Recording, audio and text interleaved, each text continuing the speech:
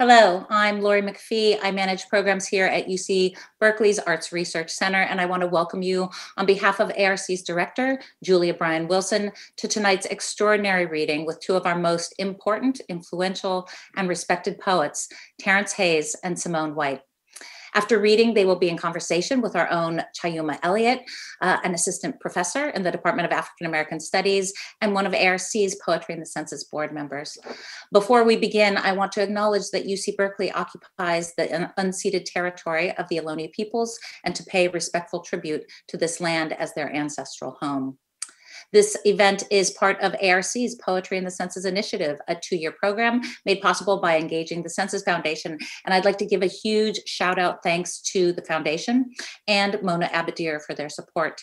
I'd also like to thank our wonderful co sponsors for this reading the Departments of English, the Black Collaboratory, and the Center for Race and gender, as well as my colleagues, Julia Bryan Wilson, Lauren Pearson, and Lindsay Panner. Uh, during the spring of 2021, ARC has been celebrating poetry by exploring the theme of emergency voices to carry with us in times of crisis. Last month, we heard from Safia Elhillo, Human Wen, uh, Craig Santos Perez, and their event link is still available on our website if you want to go back and listen. Uh, and tonight, we'll hear from Terrance Hayes and Simone White. In April, we're beginning a new flash reading series online featuring over 20 poets from the Bay Area reading a poem that responds to this theme of emergency. Some of the stellar poets uh, that will include Juliana Spahr, Damani Thomas, Will Brewer, Kim Shuck, Sam Sax, Geoffrey G. O'Brien, Jennifer Chang, Ari Banias, and Sophia Dahlin. So please check back with us in April for that. Now for tonight's event, uh, though they barely need any introduction, I'll give short bios for both poets now. They'll each read for 20 minutes and afterwards, Chai will come back for a short conversation. Afterwards, there'll be some time for questions and answers, so please feel free to ask at any time in the chat off to the side, and we'll try to carry some of your voices uh, into this space. Um, so our first reader will be Terrance Hayes.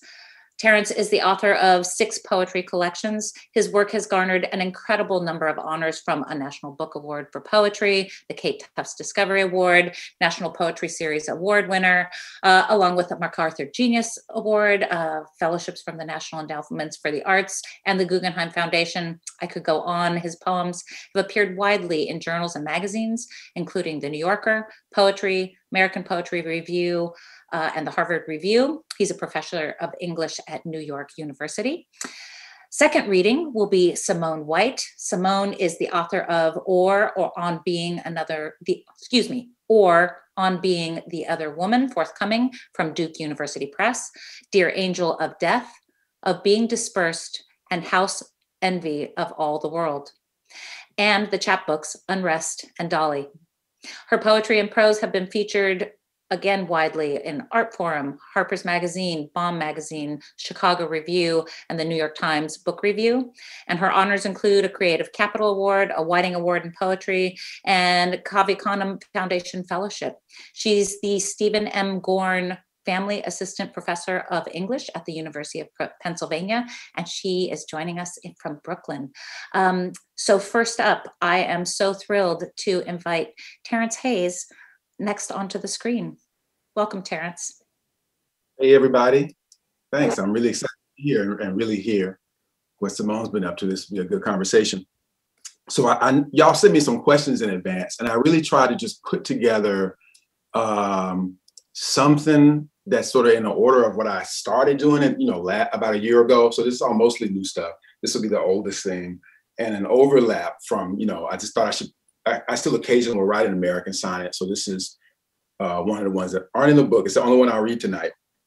So all I'm really trying to do is read from like stuff that started, you know, last March or so into, you know, the most recent stuff. And then I try to do it based on those questions. So I'll probably refer back to it later. Otherwise, I'm just going to read. Uh, I'm going to get my time here and I'm going to see how much I can get through. I, I think I'll probably just jump around. I, I won't read everything that you'll see pass on the screen. American Sonnet for Inner Visions.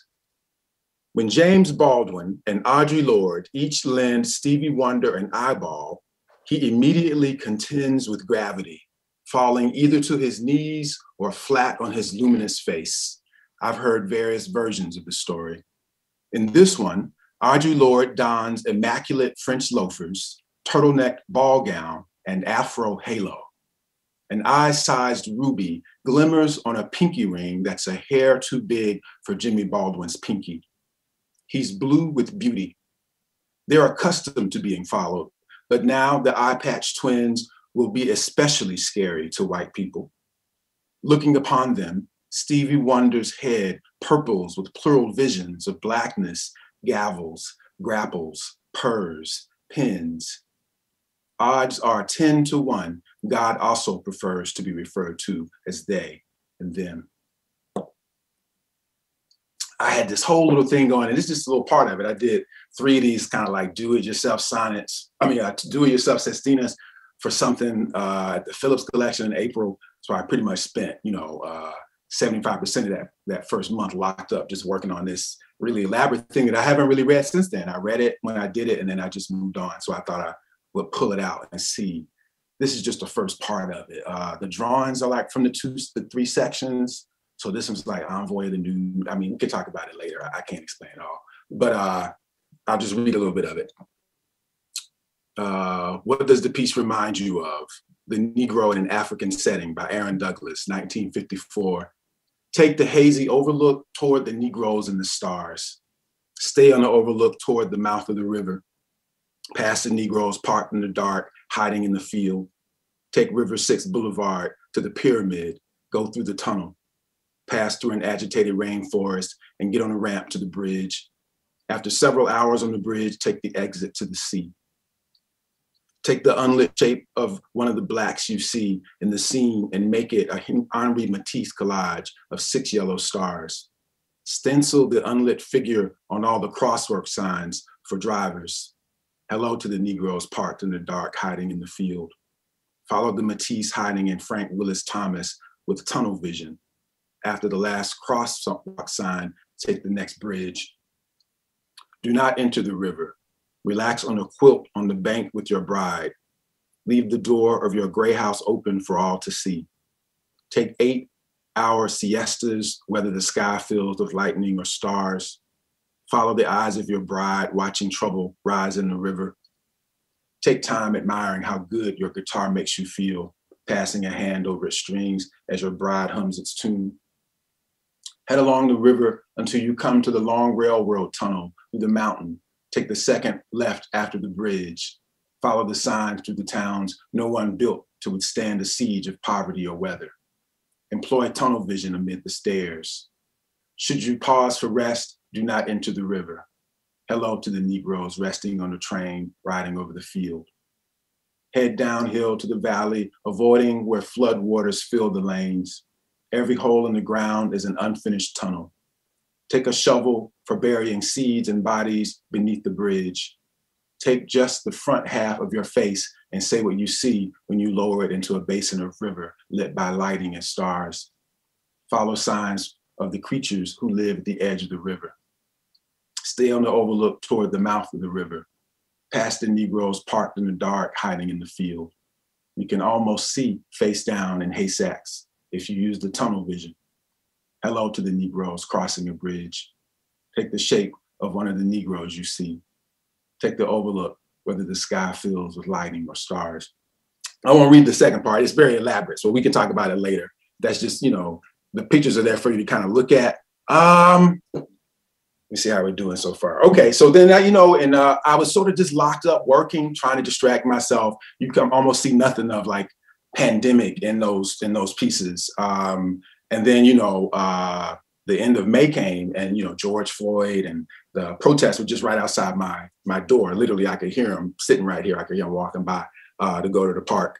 So I, uh, I wrote this like after laboring over these things all month, you know, this one came out pretty much in the morning. Like I heard him that night. Uh, I went out with them, and the next morning I woke up and wrote this thing. And then I actually sent it that afternoon uh, to the New Yorker. So it, it, did run. But before all that happened, this was just all part of that weekend. I made this video and I sort of was just, you know, it was my way of thinking about what was going on. So, so I'll show you that now.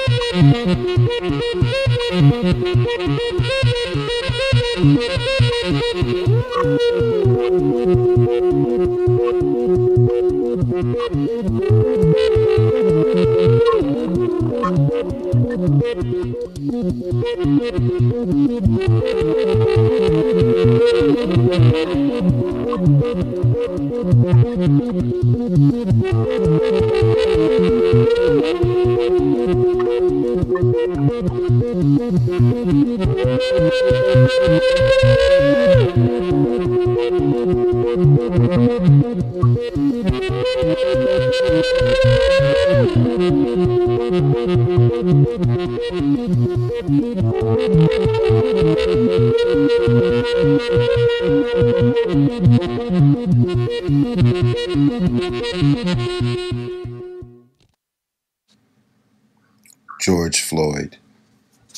You can be a brother who dyes his hair or striking Dennis Rodman blue in the face of the man kneeling and blue in the face, the music of his wrist. Watch your mouth is little more than a door being knocked out of the ring of fire. Around the afternoon came evening's bell of the ball and chain around the neck of the unarmed brother, ground down to gunpowder. Dirt can be inhaled like a puff the magic bullet point of transformation both kills and fires the life of the party like it's 1999 bottles of beer the Wall Street. People who sleep in the streets do not sleep without counting yourself. Lucky rabbit's foot of the mountain lion, do not sleep without making your bed of the riverboat gambling. There will be no stormy weather on the water. Bored to death, any means of killing time is on your side of the bed of the truck transporting. Emmett till the break of day. Emmett till the river runs dry your face, the music of the spheres.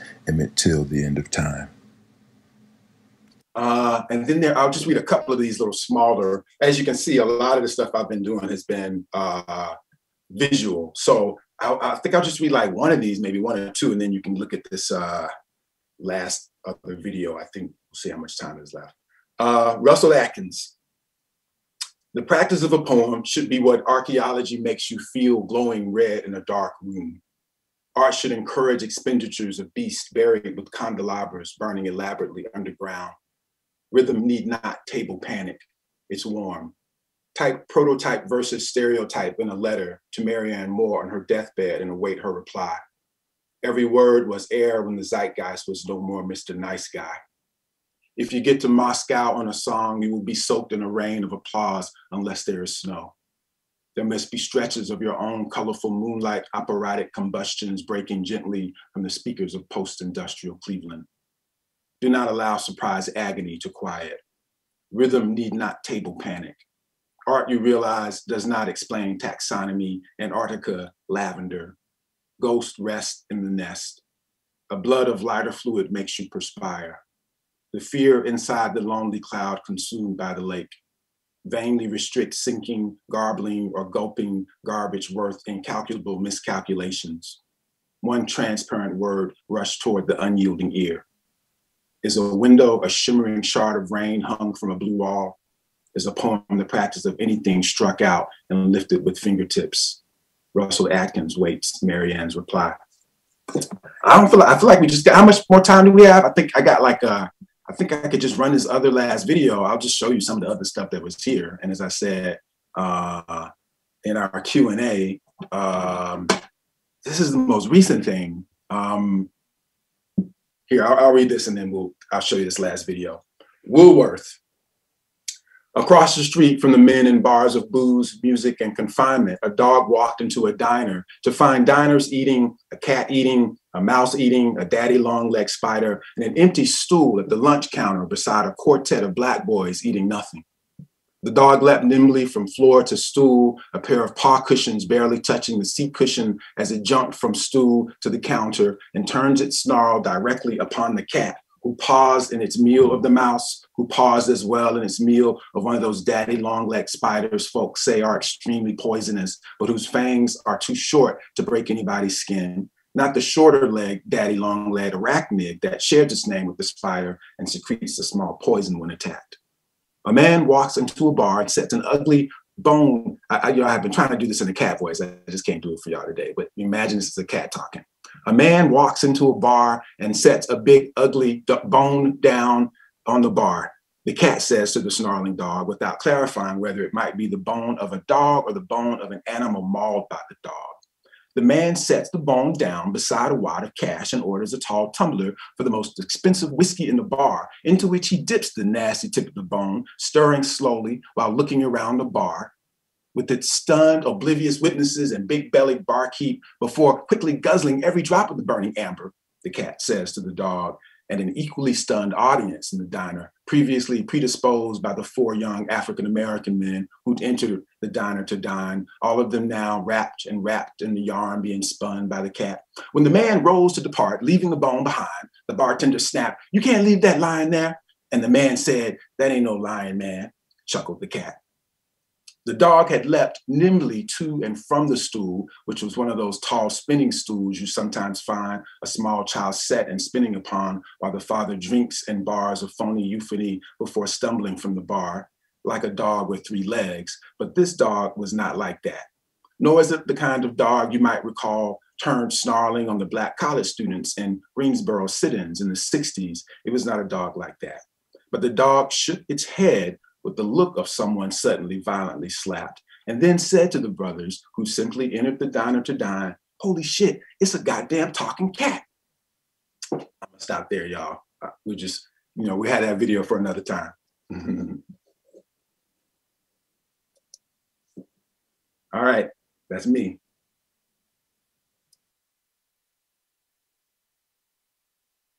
Um, is it my job now to unmute myself? I think I should unmute myself now. Is that right? Um, they're nodding and saying yes. Terrance, um, I, am always so happy to hear Terrance read. I'm really sorry we didn't get the cat voice. Um, but what an amazing like structural imagination Terrance has. It's incredible. And I'm always like really blown away by how much he has um, getting organized in his mind. And I'm just totally, I'm always excited to hear it. Um, I was not going to do this. I said that I was going to share any of the critical prose that I was working on, but then I said that like I'm going to read a couple of paragraphs since we're treating this like a kind of work in progress situation. And just a couple of paragraphs because they might actually contextualize uh, the work that I'm doing, which is kind of a, a transitional moment from the poetry long poem that I was working on for a very long time, which I completed, you know, a year ago, really, but then added a couple of poems to over the course of the summer. Um, that work is called Or on Being the Other Woman. And so the larger project, though, involves um, some theorizing about some of the problems that are raised in that poem.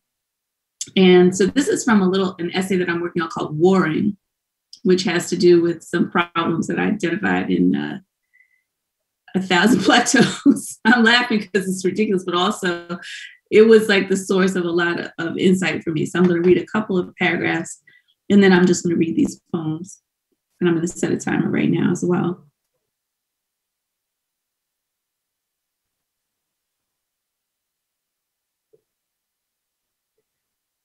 You will be allowed to live and speak but only after every outlet has been obstructed. That's from A Thousand Plateaus. The sweetness of reading Deleuze without bitterness, credulous, not having invested in the hope of revolution at the moment of the writing, might offer the only glimpse I will ever have of what it is to think like a white man, to think without regard for the wounding potentialities of statements I cannot imagine such a romance. So aware am I of the price I pay for my ability to read, susceptible as I am still to the accusation of being too stupid to write. Heidegger bowls me over. I experience an innocent kind of philosophical drunkenness. I am not in my body. Yet the experience holds within it some agony, a word I cannot say without pressing on Baraka's notes in An Agony as Now, which begins by setting a scene of torture. I am inside someone who hates me. We know that phrases, statements can become hostile in a real, not metaphorical way. The word I am thinking of is enrèglement, and it must be made up because it doesn't exist in the natural grammar of French. I mean it to express imbrication through repetitious juridical relating back to a question such as how do statements transmit hostility? How do we become aware of and adequately know the derangements of a particular kind of language or talk? Of course, I mean the exciting philosophical talk I just mentioned, which is exciting precisely because it arises from a scene of evil that has come to partially compose or condition my experience. I am inside someone who hates me, or am I? I shared this poem with Terrance a long time ago because I wrote it because of him and because of our conversations about Wanda Coleman. I am an ignorant fucker, difficult to be close to in that I am unsentimental and intimate with everyone. This is connected to the problems I'm working through regarding metaphor as a form of patriarchal control over language and a currency of poetic power. My ex husband calls me an ignorant fucker when I complain that his hugely pregnant white girlfriend who I do not know, who I tolerate, since for the last month and indefinite future, my son must live in her house two days a week, cannot show up unannounced in my child's classroom where I pay all the bills and I watch and half do nothing and half help in the acquisition of literacy and reason. I say, this is no place for this white woman. She is a free rider on my labor and love for my son. I will not support any white people with my work. I tell him all of this pretty loudly. He calls me an ignorant fucker. Now you are street. What are you going to punch her in the face? I have fought exactly three people with physical violence in my 48 years of life two men and my sister. Pain expands the time, ages coil within, the minute circumference of the brain. Pain has an element of blank. I am an ignorant fucker. I've learned a lot from Eileen. Lay claim to the processes of your mind. Deal in the maniacal properties of the oscillating sign that is the mark on you, like black is on you, but don't let them force you to sing. All burning prerogative since Iraq couldn't coax a syllable now. Emily talking shit versus me being ignorant fucker. What is, is, is determining the terms of exaltation, praise, and defilement, the turning off and on of the pleasure and pain centers, subjectivation. Profanity's nonce forms engage linguistically in what sound people call muddiness, Profanity's imbrication with epithet is a richer form of meaning, making that taps into sound, sign at a zero level, incredibly powerful, and elementally so. Fuck that mumbling shit. You are an ignorant fucker. What has to be said beyond off, on, good, bad, what happens when a linguistic field is generated by high energy signs across a flat plane of signification? There's no need for logical progression or narrative. Each word or phrase can function as foregone, forethought, already known. That's a Black ontological truism that trap music knows deeply. That's its language game. On the one hand, we experience a unidirectional surge on the other hand, intense confusion by a harmonic scrambling. I am an ignorant fucker, wherein the comedic shock of the thing resides in the manner in which I do not resemble and yet am the thing, impossibly misperceived. This is like this. I regard this as baby work, ultra conservative pandering. I seek to dwell outside the figure in a zone of pain. This is my country. What is the difference between the figure that destroys and the figure that breaks away?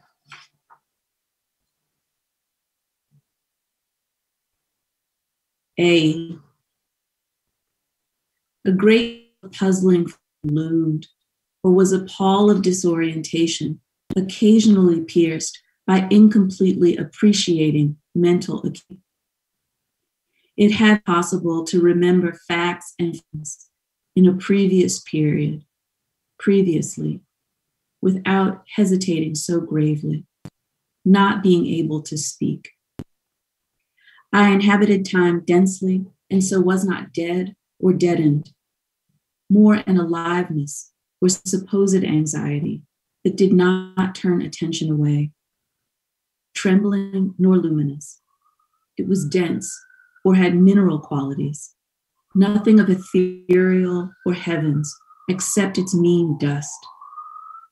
Several combinations of not being able to articulate the names of objects first, panicking or shock, being puzzled coming later in relation to initial awareness of heretofore uncontemplated blank spots, both biological, that is, neurological, not knowing the names of people or places or things in front of my students, when critically sleep deprived in the first instance, and poetic, objecting to the ordinary orthodox way access to words had been described as a matter of grammar, Steinian, as a matter of disability, stuttering, having many words and unable to find them. Also, performance of ease with respect to writing, metaphorically, invention or creative creativity organized in terms of access to this kind of speech. Morbid fear of flying occasionally flares up, attributable to early incomplete understanding of the phenomenon of wind shear. As a child, gathering a plane could be hurled to the ground by the air, deducing air travel cannot be completely safe. A plane or engineers not being able to respond mechanically to the force that carries the plane the principal absurdity of being unable to overcome physics in this basic way, how fucked we are, my own death, to be related to a kind of unresourcefulness, of lack of creativity with respect to language, or language's pathetic nature in the face of dimensions, what to call a vestibularity, which sounds very dramatic. Chief Keef's Save Me, for example, if Chief Keef has Asperger's, I'll be Monkey's uncle. Two kinds of multidimensional imagining have been troubling during the time of this work. I misunderstand grinning for granny, warring for want wreck. It doesn't matter. After all, if looking at a painting or listening to music that doesn't have words, I misunderstand it's considered a function of excess of interpretability. Works having vectors, operational vibrations outside their physical presentation in common understanding, not only Black people's theoretical proposals. By virtue of being in proximity to my peculiarity, the speech of another, what comes out of the body of another now, more likely a long time ago, then almost dying there until it is activated when I come to it. That is, the things that actually die that we make, perhaps going wrong. Not understanding war, including the sound of a person's spasmodic coughing as a vestibulary element once the fundamentals of the so called beat are established, and the other effects, some horns, some amplified weed pulling, all of which can be heard by any device. I think it's interesting that the auditory register of the coughing is lumped into a bar with the 808 drop. Impossible to hear. Seconds later, the sound signaling pulmonary illness or distress ancillary to vocal strain. No one arrives with the intention to suffocate. P look darker, I hear as penis darker. The gathering or clearing in which verbalization will begin to take place is already jammed up. Warring being on the mind of this man whose lungs can't fill up with either smoke or air. He says nothing, grunts or counts, saying nothing technically. Imagining a gnarled or entwined figure in which all the intentions of love are activated, all its disappointment, hovering as a fundamental magnetism in the gaps where two bodies do not touch, where perhaps the hips of two persons attached at the genitals form the angle at which two human bodies move away from one another. This is also a space of containment. So, a formation in the physical world of particulate refusal, its essence isn't contamination, having a problem associated with its physical properties toward destroying the connection its hold is touching too much rather than too little. Little language being necessary. Any first person declaration involving will not. The sculptural gap between the bodies in terms of the recurrence of the figure, a total imaginary. Sometimes filled with nothing, but disdain for the other will. I guess it is domination.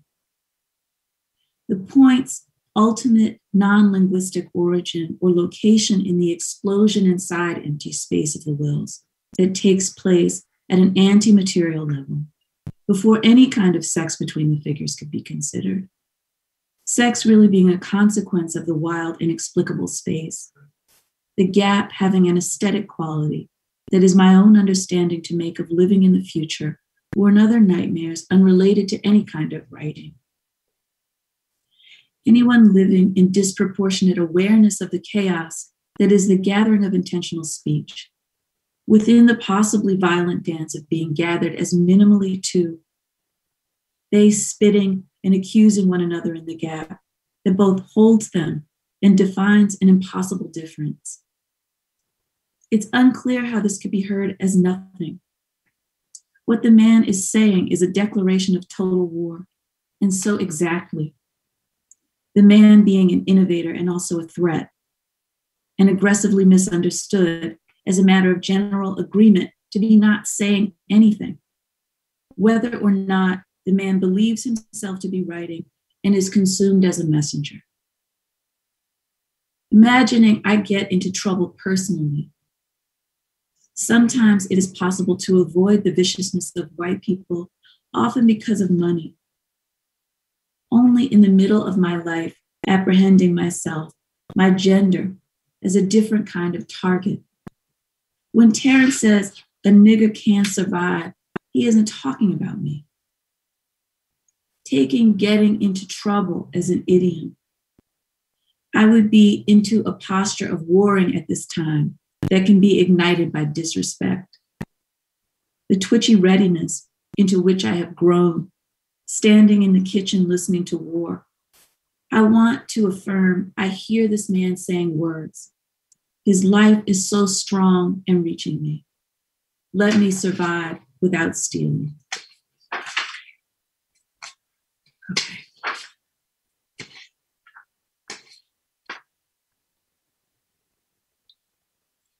So I'm glad that the progress of this of this group has been around poetry and the senses because one of the things I want to like show in this reading, not necessarily like in the book, is that the book is like just filled with emotion, just like raw emotion that can't necessarily be organized into like affects or something like that. And um, so I'm going to read this one last thing, which I will probably take up all our time. No man has ever not tried to steal from me. That's wrong. The man who never tried to steal from me never wanted to be with me like that. while the man I was with who explicitly stole from me was so crazy at the time I didn't think much of it structurally, or I could not think structurally at the time. In California, Prairie Light and scenes from Midwinter Day were coming to me in a confusing way via social media. I wrote to Laura, I had a dream in which I was overcome or beset by a kind of erotic storm, encircled by lovers. That is, men of whom I would say fucking is eternally in the nature of our bond. The transmutational properties of masculinity, the three, forcefully whipping around me, having become a cosmos of presence to myself, my mimesis with no share of the bearing down. Inside their fucking gyre, I transmitted a signal for help, but it could not escape because the force of the dimensions with which they were or were creating was a black hole. The real blackness of the hole was true. I woke up knowing what words to say. Say the dream, Laura. Within two or three days, I had been trying to identify the name of the pressures. No, I cannot remember what any of them had done to me. I try to remember forming an intention. Now I am going to act as crazy as possible and threaten to go to his job and tell his mama and his best friend what kind of person he is and how he has been stealing from me all these years and telling people I'm a spoiled bitch because I have all these degrees and won't take my baby out of private preschool. So I was acting crazy and smoking out the window of my house, screaming into the garden at the mourning doves, looking at me like I was crazy. I stopped when he said a number, I guess. I can't remember much about it because I got pretty drunk afterward and woke up in the night thinking, Lord, I am not able to do this much longer. Please let this man see my humanity. In two or three days, also, I had learned there was no name for the pressures. It was the most ordinary Black womanhood, which is not nameless, has all the names of us, and is nameless, and has no intention, and is strategic. One of the days, a young dancer came up to me and said, I don't know how to embody the musical problems. And I said, Well, how does it make you feel? I began to be able to speak of it myself when I felt myself growing more graphically male through its practice. I listen at deafening loudness in my car. Clearly, I am trying to hurt myself. The words they say, they have a newness. I promise never to speak the words in my poems, not in defiance of interpretation, but because they are so creepily hostile and unfunny. The interior they assume and address so murderous, I don't see the point of repeating them. This is what words do. How does it make you feel? You are not allowed to have feelings. You are not allowed to have anything. And when you have something, somebody will try to take it from you. Don't doubt it for a second. There is no honor in patriarchy, it is a drug. Sometimes I allow my eyes to roll back in its vicious pleasure. I can feel joy if I remember I am feeling the power of myself as a vacuous thing, an unknown thing, out of which words come under pressure, begin to make new. So that the structure of the poem was falling down around me, as were the constitutive energies of what I was, such as they were visible or detectable to me. I sensed them breaking. They were already broken. This was the condition of which the poem must consist the radiant materiality of circuitous attacks, some such as might be deflected, others helplessly slip inside what is. I'll stop there. Yeah. Y'all, y'all are making me so happy. I'm having this like Cave Canem flashback moment to kind of what those what those readings were when folks um, spent time in workshop and then you know came together every evening and people were reading the new things that they were writing um, you are amazing humans for sharing stuff that is so that's so new and that you're still sort of thinking through and thinking with with all of us um, also i just want to acknowledge how amazing it is to have the two of you on the virtual Berkeley stage together. This is like a dream lineup. Um, and I'm really happy to get the chance to ask you some questions and just sort of dig more into the poetry. I have all these all these pages and pages of notes. I've been scrawling phrases and things and all of this. And I was just thinking, um, yeah. And I said, well, how does it make you feel? Terrance, when you're reading, the practice of a poem should be what archaeology makes you feel glowing, glowing red in the darkroom. How does it make you feel? Where are words connected? How's this all working? I'm so excited to get to ask you questions. Um, so I want to kick off. I want to kick us off with a question for both of you. Um, maybe Terrance, I'll, I'll ask you to answer it first. It's a gen- general kind of question about genre. Um, this is what is a quality or asset or attribute of poetry that attracts you to it? Um, what is this genre in particular asks or allowed you to ask or allow you to do? Um, good to be here with y'all. First of all, I want to say I'm so mad. I should have gone second, man, because as soon as Simone went, I was like, oh man, I had like a set of poems to read for her. And then I was like, should I answer these questions that y'all sent me?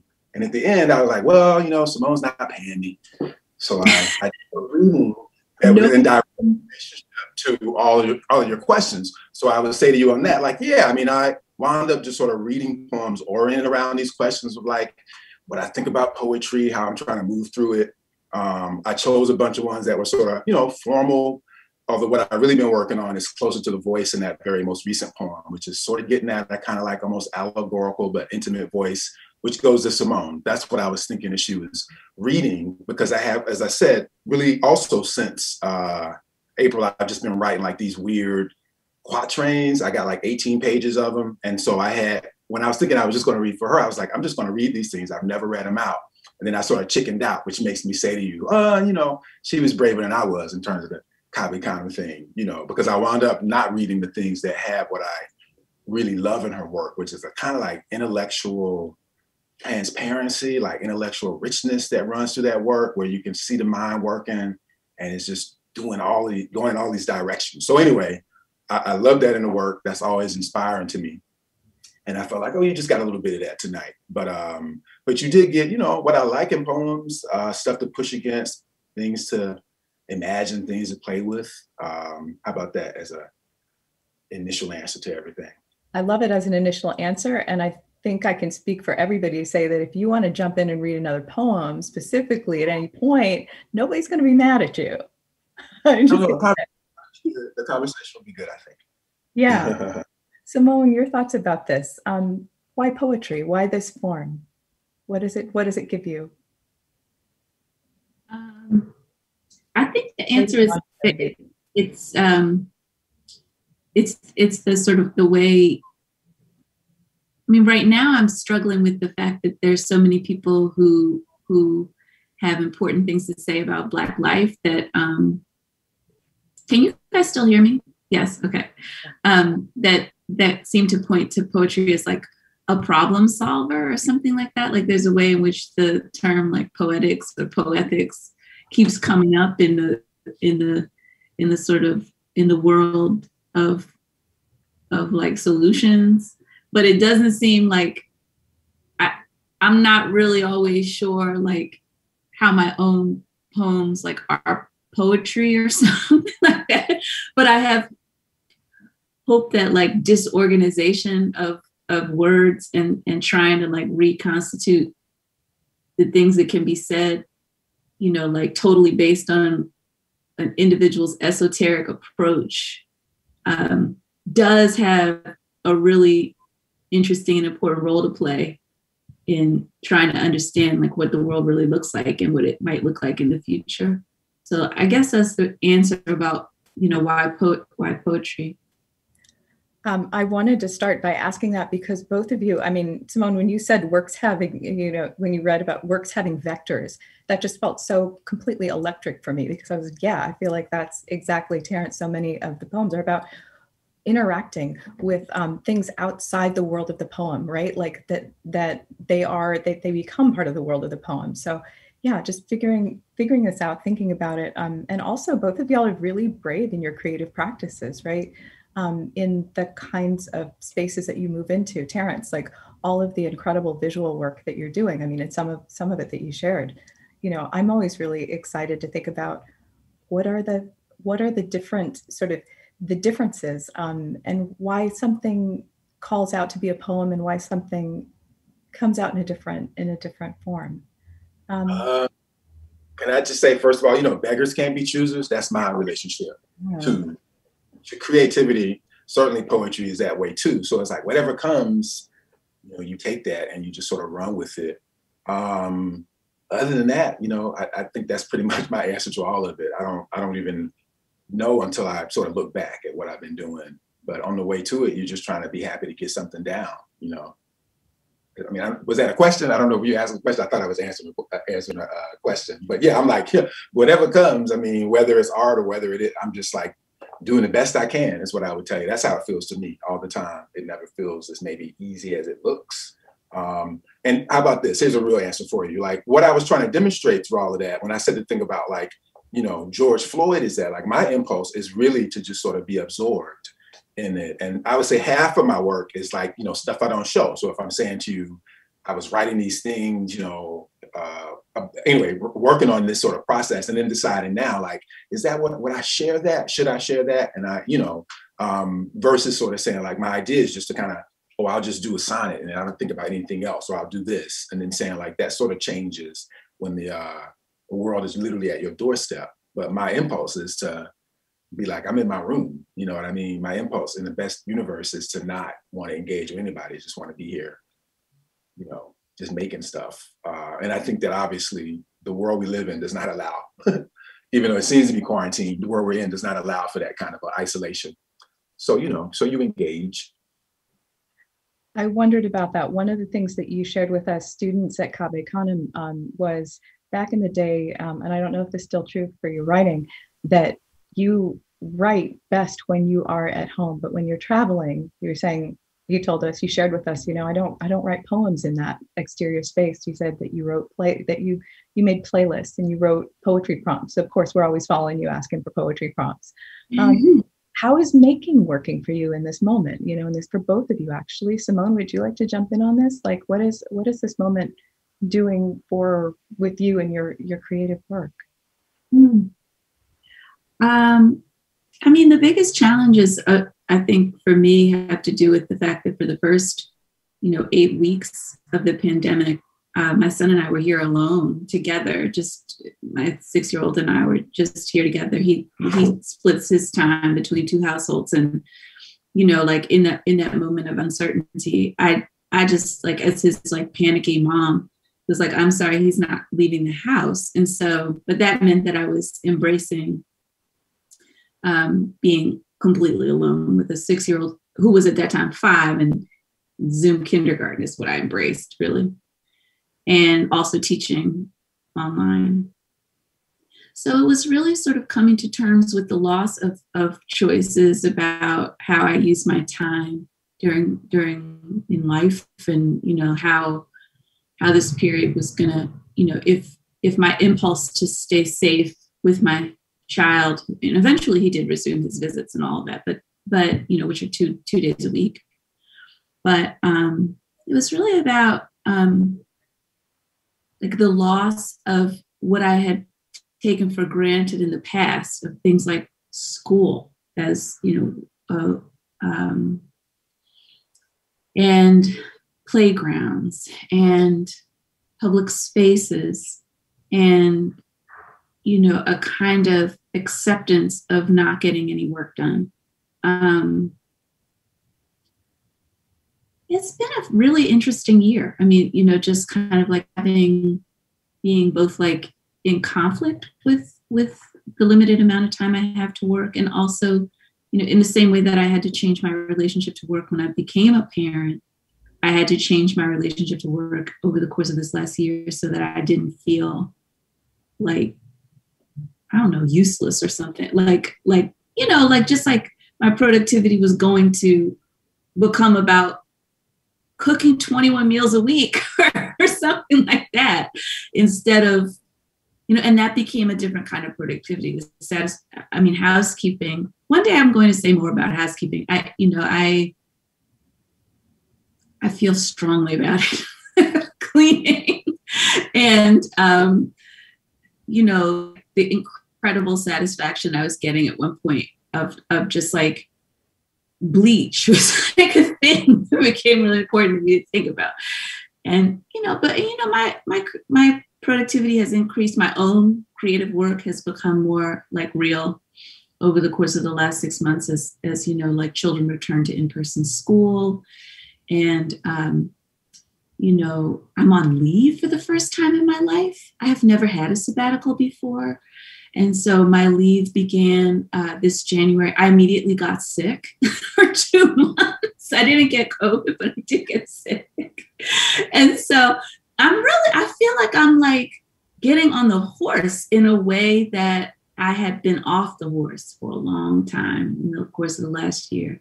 And I'm grateful that, you know, I had this manuscript ready to go to, to publication and that I had conceived of an entire project that was really a growth of my artistic practice insofar as it wasn't just I'm talking too much, but it was like it wasn't just poetry. It was it was a sound project and a, and a project that involved my relationship to theory, and it was like kind of ready to go, but it couldn't go. And so now just like it feels incredibly awkward. weird to be, you know, like I really don't know how to do any of the things that are before me at the moment. But you know. I love that you use the word awkward.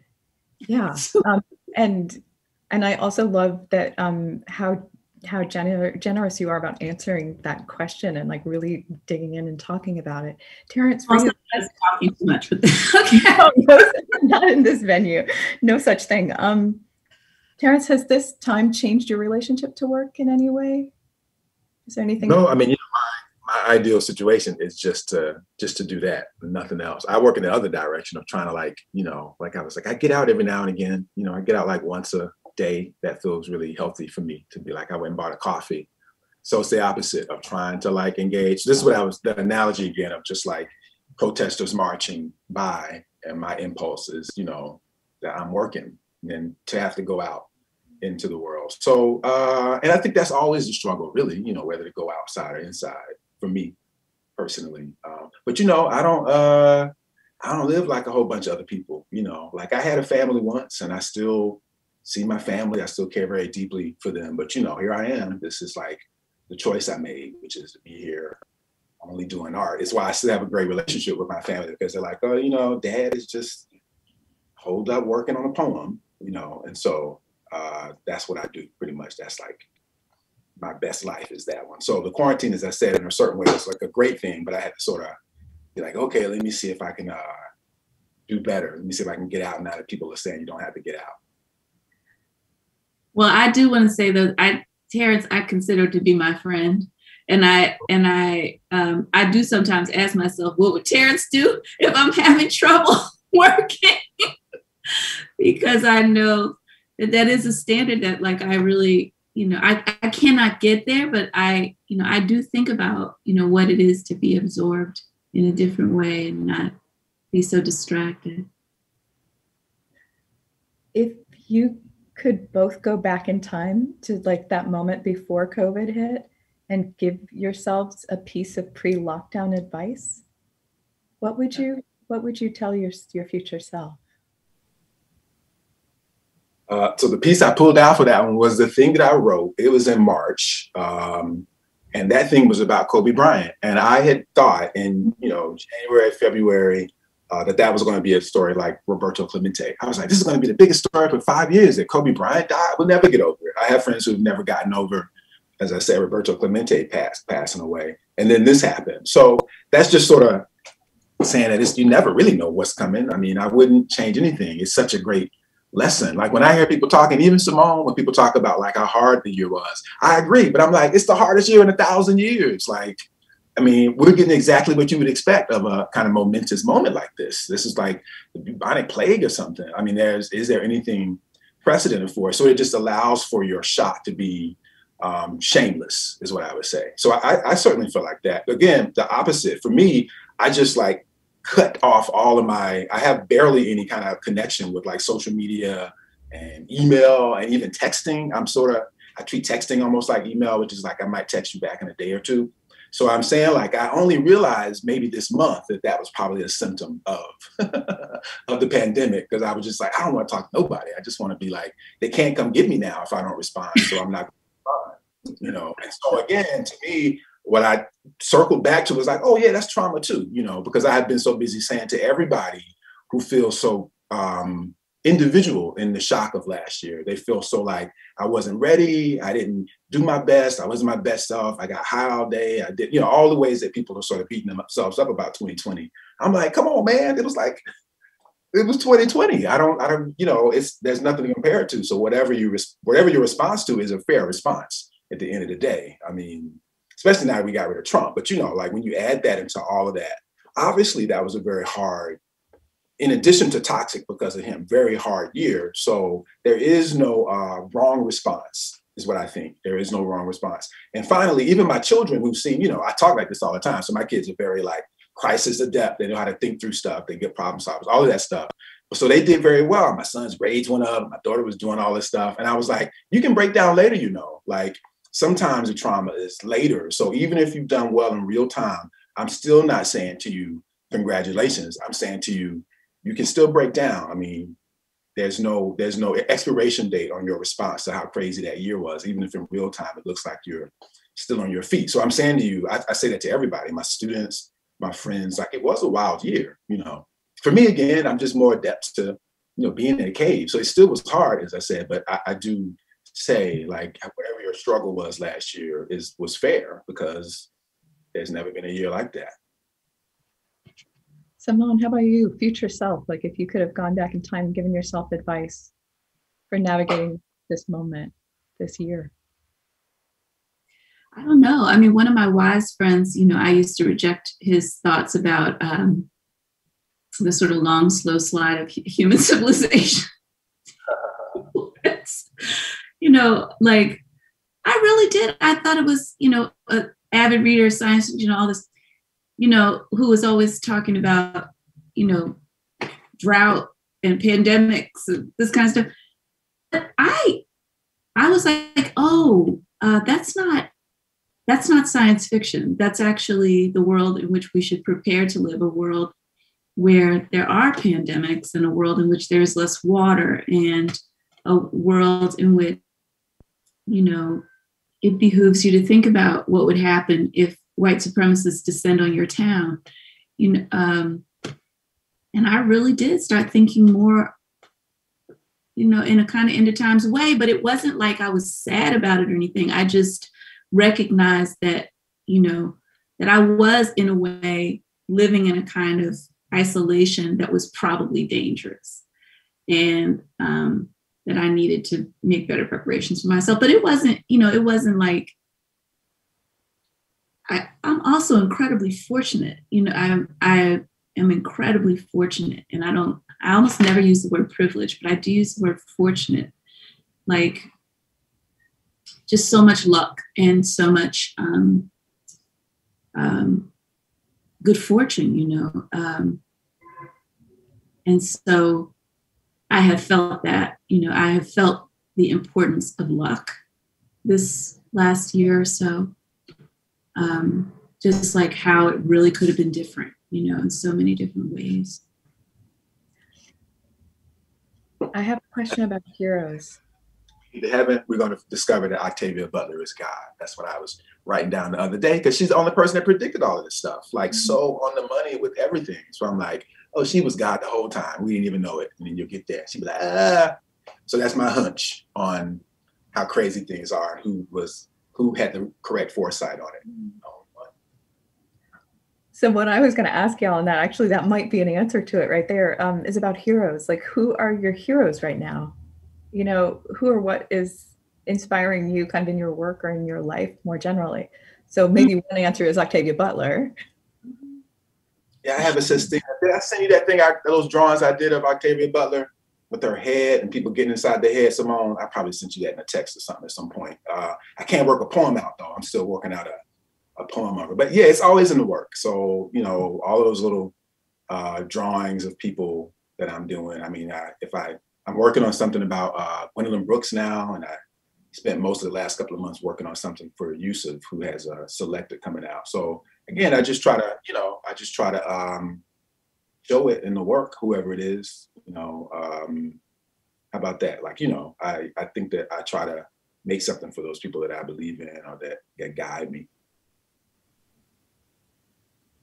Yeah, I think those kinds of tributes are really. Um, I try to bring that stuff out like in the work in a different kind of way. Um, I feel like honestly, like Lyn Hejinian has been a real guidepost for me, especially in the last year.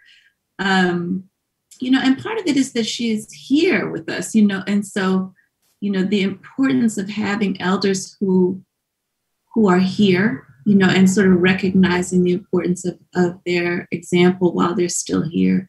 I've been really like aware of that. I also have to say, like my mother, who's, um, you know, I mean, she's my mother, and therefore we have conflict.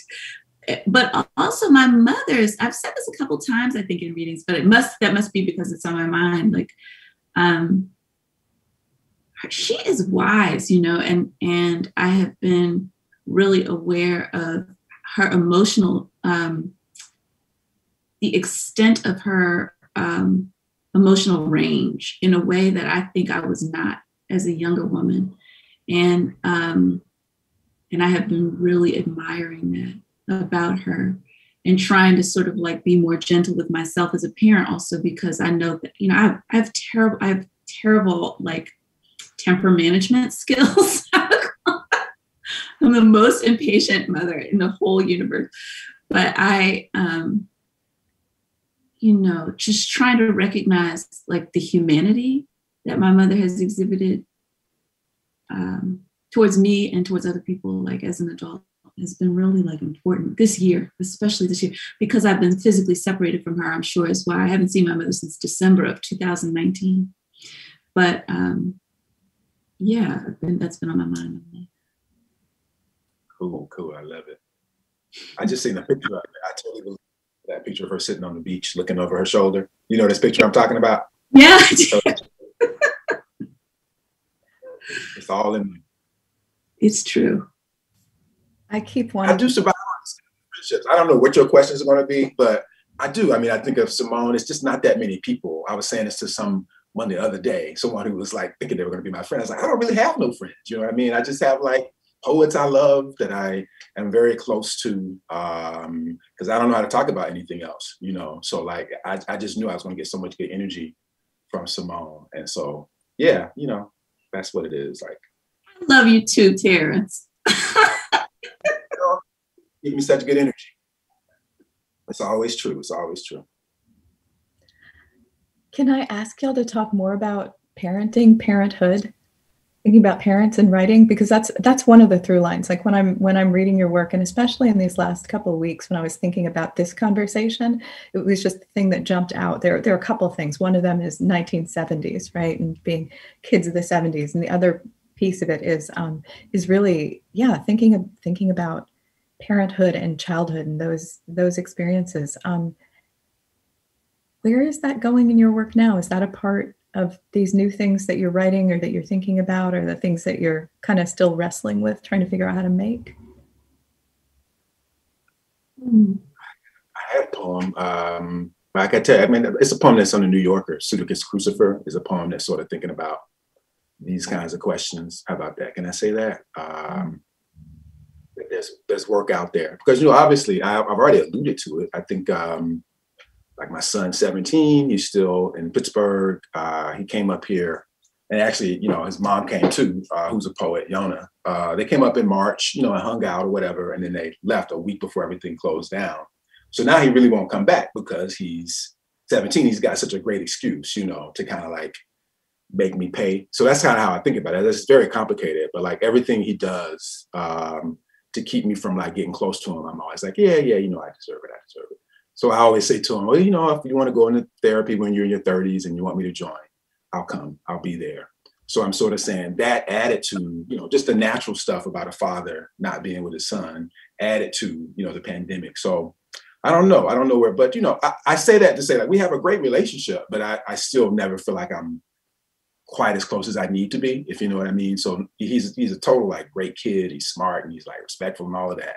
And I still feel like not close enough. So, but that's a very personal thing. Um, it's still in the work, and I do I do try to write about it. I do try to articulate it. So that's why I would say like we ain't got time to necessarily hear that poem, but that's um, I worked on it for like three or four years, and I read it to him like you know for his birthday, for his 15th birthday. So I like worked on it for a year, and I was like, I'm gonna make you listen to this thing, and then my parents were there, and then so uh, I guess last year I finally sent it to the New Yorker, and I was like, I'm gonna send that poem off. I worked on it, you know. He was like, oh, that's cool. I'll look for it. So, so there's that. You know, as I said, I just try to keep a record of this stuff. Almost anything you ask me, you know, if I've thought about it, I hope I can find some evidence of it in the work. So that's what that one would be. Do you lean, do you find yourself leaning into emotional difficulty and emotional complexity in your work because of what you're learning about complexity as a parent? I think poetry, that's what poetry is. It's like a development of intellectual, you know, emotional intelligence. How about that? I think so much of what poetry is, is like the more you do it, the more emotionally intelligent you become. How useful that is everywhere else, I don't know. But to me, it's a very useful uh, thing to be happening when you're doing the work, like asking yourself these critical questions. And again, I see that in Simone's work uh, in ways that I'm not always like painting over it. Once I've sort of really done that emotion, you know, emotional work, I'm like turning around and deciding how productive it is, which is not always the re- the best way to go at you know what we call emotional intelligence. Sometimes you can be too smart with that. So so I'll say like you know again being super frank, and again I just discuss the is on it. That is what I struggle with because I do know how to like you know shape things, uh, and so the challenge is like oh you know vulnerability is power, vulnerability is power. So and I always struggle with that. I don't always act accordingly, but that is ultimately what I believe. That's what I'm sort of working towards in the work at this point. Um, so again, I hope that I'm, I'm talking about everything, being a dad, being a poet, being a human being, like moving towards something that allows yourself to see that as a, an absolute truth, that the more open you are, the more that, that really is what power is, being open. Simone, would you be willing to talk about this? I mean, I'm actually almost embarrassed to sort of ask that question because I feel like y'all have already given all of us readers so much of this in the work itself. Um, and it feels almost greedy of me to just say, ask you to say more about about this but i it's beautiful and it's fascinating. And i also want to say on behalf of my students um, people would be mad at me if i hadn't asked that question. Um, i remember one time in particular terrance teaching um, your Pecha Kuchas from the book lighthead in a class um, and having folks we basically had to stop sort of that class and do a kind of like have basically like a workshop moment and really talk about okay so parent child parent child what do we need to say right now just in this room in this space so then we can step back into this poem so yeah thank you for indulging my my greediness and my desire to hear more of both of your wisdom don't send them in advance next time and then we'll be more surprised I know I thought about that. I thought about that too. I just I just didn't want to spring anything on you that it's a pandemic, y'all. I'm not trying to spring anything on people right now that anybody isn't going to hear about ahead of time. It just feels wrong. Teasing, I'm teasing. Um, well, I do I do talk about children. I talk about being a mom and a little bit, but also like you know my experience of motherhood has been not like some people's experience of motherhood insofar as like I was like really shaken up by my son's early childhood. And um, you know, but and we have and he has become, you know how some people I used to have aunties and stuff who would be like, I don't really like children. I like you all. You know I did not feel that. Like I I thought that I was a person who loved children, you know, and I and I find that I love other people's children like a lot. I love being around other people's children and especially babies. But my God, I was so traumatized by my son's early life. And and you know, part of it was that, you know, I was I didn't, I was in the wrong relationship, all of this. And so I needed to separate myself from that situation. But um I I wonder, you know, one of my favorite poems of Terrance's is this Michael Jackson poem, which is about early childhood. I think that poem is like an amazing and great American poem. And um, I thought a lot about it, and I thought a lot about the ways in which it's sort of like it's like an anti anti psychoanalytic poem or something.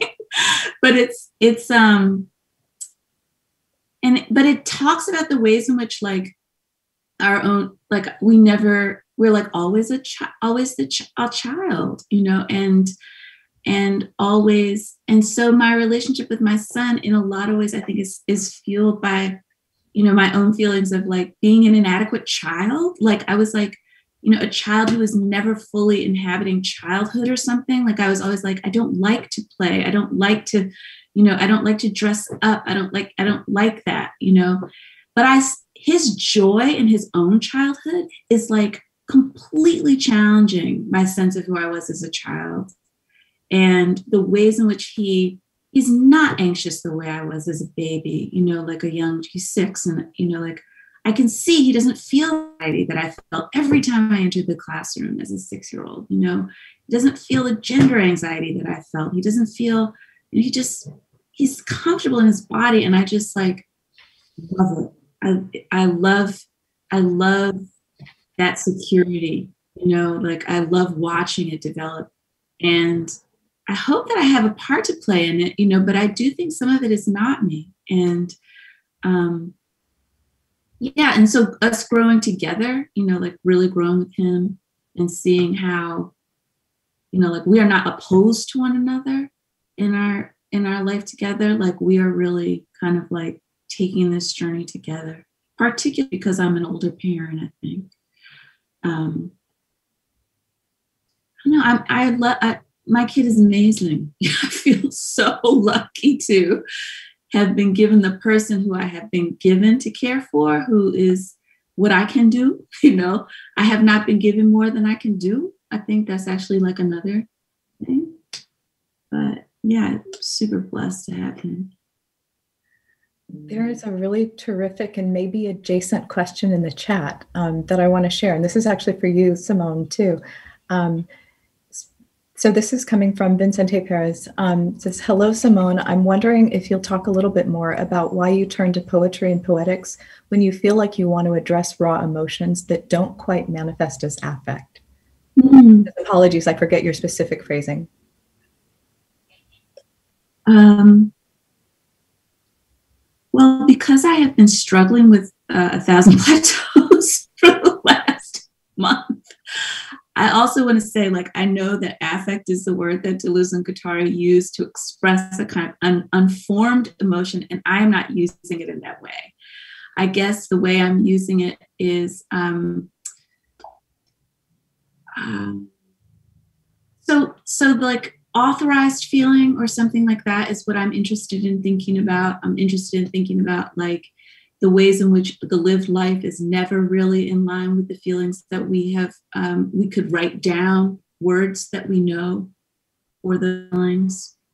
And um, the ways in which therefore like our sense of what it would mean to like be free or something like that to have like a fully free existence can also not be embraced by any of those feelings because it's too complicated right? Like the the sense that like one could have you know like pure romantic love or something like that could never, or I am in love, that could never be expressed by any language that we have, like a single word or group of words, can never express the sort of complex of humiliation and sex and joy that, you know, is really being in love, you know. Um, and so I'm interested in like how poetry can help us to um, mine, you know, the full language, the full capacity of language to fill ourselves up, you know, with the possible expressions for those feelings. And that does involve like grabbing and saying language of other kinds of description. You know, that's why materiality, that's why I'm so focused on matter and materiality right now, because it seems like I'm just like actually just filling up the tank a little bit to try and think about how um, you know the states that I experience um, could be described better. And that's not for me; it's actually for everybody. You know, I really believe that. It doesn't really matter about my like personal problems and love and stuff. It really doesn't. But it does matter that we have like a record of um, of that. That those like efforts, you know. That's one of the things that I admire so much about both of your writing um, is your willingness to write autobiographically adjacent speakers. Mm. Um, yeah, and really and and use use that as a kind of a way to explore things. Um, let me let me ask another question from the chat. This is uh, for you, terrance Um, this is from Saeed Farah. Um, asks, what was the experience of writing the George Floyd piece like for you, and how did you navigate such a visceral topic in your body while writing it? Did the audiovisual approach help?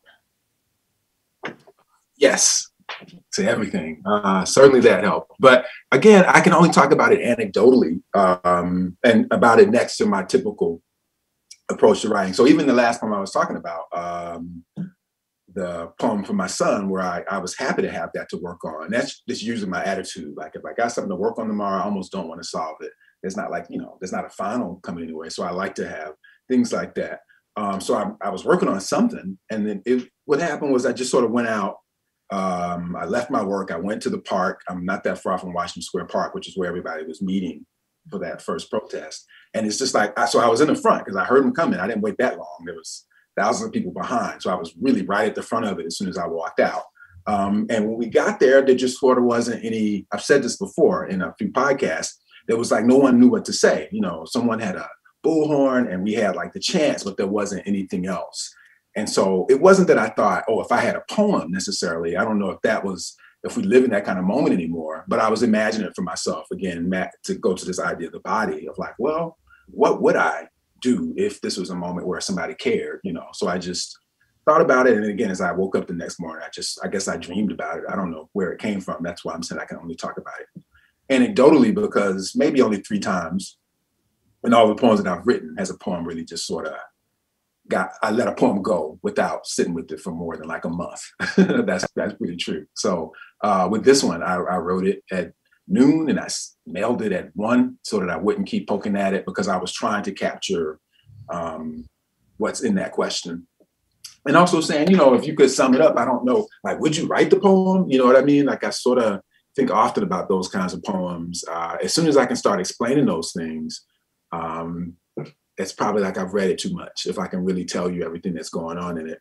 So that would just be, you know, one of those examples of, yeah, I, I was just doing all the work um, to work it out. Um, the drawings I had done the last time, I think it was when the, the guy got killed in the Walmart in Ohio with the with the gun. Um, and so I had done drawings just sort of thinking about that. And then I wrote the poem. And after I wrote it, like I was like, oh, you know what? I could maybe put these things together because it was just a way again of like one to be absorbed by that as opposed to like watching the news or whatever else people do in those kinds of moments. So I, I didn't want to be online. So that was just sort of the, the yield of that, I guess. Now I'm really curious. It's something that um, that you said earlier about um, writing, trying to write an Octavia Butler poem right now, and the challenges with it. How are you working through the, that challenge of not being yet ready to write that poem? What what is that process like? have something to work on. I mean, you have to convince yourself of these things. I don't think, you know, we don't live in such a way that people think uh, time is something that's really, you know, the more you think about time, the better you can manage things. So I say to you, my approach to that is just like, oh, that'll be good when it happens. I mean, I have been working on that thing for probably two years. I got like these drawings. I tried a Sestina and I tried some other kinds of things to sort of make it work. Um, and so, you know, at some point it'll work out. And when it does, I'll be excited. But that thing, even about saying, you know, oh, she'll probably be God is because I haven't finished the piece yet. So as long as I don't finish it, I get to keep thinking about her mm-hmm. in that kind of way. And at some point it'll reach a critical mass and then I'll know what it is I'm I'm trying to do. But of course, she has been in my mind very much through the pandemic. Uh, and even when Trump was in office, I just felt like she anticipated a lot of these kinds of dynamics. So she has been looming very large and, you know, she hadn't been gone that long. So so anyway, I'm sort of saying to you, I like to think about it. I'm not in any rush to resolve it. Like, why would I be? It's not like anybody's waiting for poems. That's that's generally how I think about it. Like, there's enough good poems in the world. You won't die if I don't get my Octavia Butler poem together. So I just take my time, you know, a year, two years, whenever it happens, I'll be like totally worth it, is what I that's how I think about it. Like, I mean, I'm always writing about five poems at a time anyway. And you know, they just they all take, you know, long times to get cooked up. So yeah, how about that? I mean, you know, who knows? But I don't I don't mind it. I don't mind not knowing yet what it is. Simone, how about for you? Those moments of poetic, or however long or short they are, moments of poetic difficulty, difficulty in making. How do you how do you work with or through those? I feel like I am always having dif- I have difficulty. I, I'm just really slow, super slow, and often, and I don't write all the time or every day, and I often wait until I, I tend to work out the problems slowly. You know, like you know, my friend Imani Perry is like one of also my gurus when it comes to like work habits and stuff, and um, she used to tell me she would write for seven minutes at a time like when her children like had their backs turned or something and i was like i could never do that and i still can't do it. I i can't I actually can't divide my attention in that way. But what i do i think is i have a little storage system in my brain and i'm not really fully it's not fully conscious and i actually prefer it that way. Um, that a lot of this stuff, this process, these processes take place in a place that is not fully, you know, at the at the surface of thinking. And um, so as the problems are being worked out, um, they are sometimes concealed from me. And then as they come to the surface, they become more and more urgent. So it's like I, I then really do have to uh, I begin to have moments where I have to sit down to write things down or something like that. Um, they're like kind of coming out, and and it's sort of like an infection. it's like truly a thing that's sort of taking place, growing without my full knowledge of what it is. And but it's okay. I'm I'm at peace with it. Like the slowness of my writing, and the fact that I have never I wonder what will happen, you know, when when time looks different to me. I don't I can't imagine um what I've never been fast. When I had nothing to do, I wasn't fast. And now that I have lots to do, I'm still not fast. So um, and I do regard that as a kind of difficulty, but maybe it's not a problem. It's just how I Yeah. am. Yeah, it's just how you work, you know. It's not a problem. I have another question from the chat for you, Simone. This one is about um, music. This comes from um, Ken Ueno who's one of the Poetry and the Senses Fellow and also a music professor here at UC Berkeley. Um, so Ken writes, I saw that you taught a class on trap music at Penn, which is amazing and awesome. Ken has two questions. One, what do you think about the preponderance of the triplet in trap music as compared to other styles of rap? Is there typically less rhythmic variance in the flow? Is it limiting? So that's question one. Okay. Question two, oh, and or are there affo- other affordances? Which I love the phrasing of that. Um, question two from Ken is this: Are there any points of resonance between trap music and your work? Thank you. I feel like I got a pre- quick preview of some of that conversation. And I'm so excited we get to go there tonight. So, Ken, thank you for sending that question. Oh my goodness. Um, I did teach a class on trap music, and I, have been thinking so much about what I would do differently next time. Um, but okay, so rhythmic variation and the trip. So I don't, you know, I cannot, I'm not a musician. I know almost nothing about music theory, but I do, you know, I think about resonance and I think about repetition and I think about uh, vibrations. Let's put it that way. And so the place of the place of trap music in my work, first of all, in my current work, is it is at the very center of my current work. Like thinking about the ways in which trap music um, has conditioned like my understanding, or or actually like is a culmination of my understanding of certain kinds of um, rhythmic or, res- or, or resonances in in public space and and in my own body and so, and what trap music did, I think, for me was sort of like wake me up to some changes in how I was understanding like my relationship to um, my my myself. Right? I was like, oh, here's a music that does not really hold on to like the idea of freedom as its primary as its primary like trajectory. It does not care about that word. I don't think so.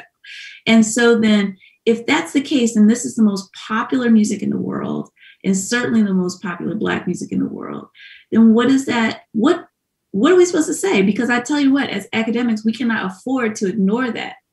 And um, and yet the complexity of the emotional platform makes us wish to ignore it, you know, and, and like, you know, it's just too much. Like we could talk about abolition, but we cannot talk about how trap music operates in conversation with the project of jailing young black men. Well, why not? Why can't we at least undertake this as a problem that we might be in conversation with with the young people, right? And so that's what the class was for. Like the question of like rhythmic variation in the triplet and like how the hi-hat works, we could talk about that another day. But it does seem to me that like, so the way variation is is like theorized by certain people like Deleuze and Guattari, right? Like I've been trying to understand why the way the music impacts me um, makes me begin to think about or or assists me in thinking about the um, unrecoverability of certain uh, let's see art practices that are trap music i've been thinking about how chief keef operates as a kind of figure that might be you know what I think of as kind of like a nomad warring figure, which is why the title of this essay is Warring.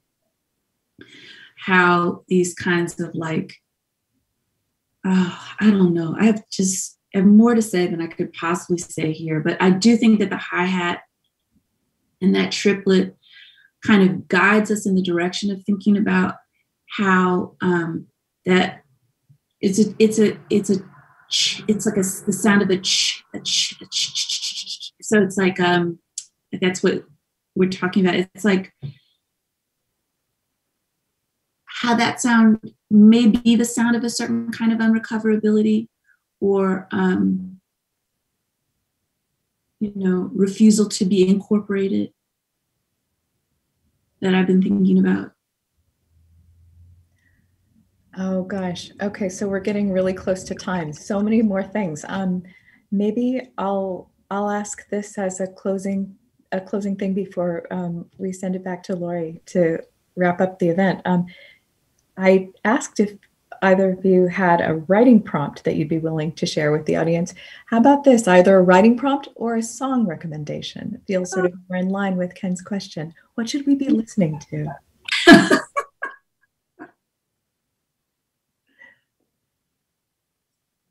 that Terrance has a great answer to this question. Well, I mean, you know, uh, for which part? For the music or for the prompt? I've been listening to Sun Ra lately. Who hasn't been listening to Sun Ra lately? Um, here's the one though, you know, here's the prompt. Uh, something that I've been doing forever, and it is, it's just essentially like a Frank O'Hara thing, like uh, writing your day in one sentence. You know, you wake up and you start from there. I woke up, and then you just see how long you can let that sentence go until you get to bed. Mm-hmm. And then whatever's exciting, that's the point of the day. You know, whatever seemed like maybe it was a great lunch, or maybe it was some terrible news, or maybe it was just, I mean, it's something. Every day has a point to it. That's what you just have to locate the point. Um, so that kind of exercise is one way to locate the point of your day. So you got to do it at the end or, or the next morning. You know, what you ate, where you go, who'd you see. You won't remember everything, um, but it will be a lyrical sentence. It shouldn't be like a short sentence, obviously. So how about that? There's a prompt. That's just like a that's a way awesome. of keeping. That's awesome. What a great parting parting gift. Simone, you want to give us a song, a song recommendation? Um, the song that is on repeat for me right now is a song called Lamb Truck, which is produced by Chief Keef. Um, and the primary performer is, is Tadoe, his cousin Tadoe. Um, and that I've just been listening to it constantly. I love that. I love that. Thank you both. Thank you both so much. Um, I'm going to turn things over to um, Lori to close us out. Thank you. Thank you. Thank you so much. Uh, on behalf of the Arts Research Center, we are so grateful to Simone White and Terrance Hayes for joining us tonight. Being so generous uh, with their time and the honesty of their answers. Uh, and of course, uh, Chiyuma Elliott for stewarding, stewarding this remarkable conversation. Uh, there has been so much love in the chat. Uh, we'll save it and send it on. Uh, but a couple notes include Simone White is my hero in all caps. And Terrance, I bow in gratitude to your personal honesty and vulnerability. It helps me so much. I just want to make sure that you heard that. Um, many thanks to Engaging the Senses Foundation and their support of Poetry and the Senses, along with the Department of English, the Black Studies Collaboratory, and the Center for Race and Gender for their co sponsorship of this event. Finally, please join us in April for our Flash reading series. You can find out more soon on our website, arts.berkeley.edu. Thanks, everyone, and have a great night.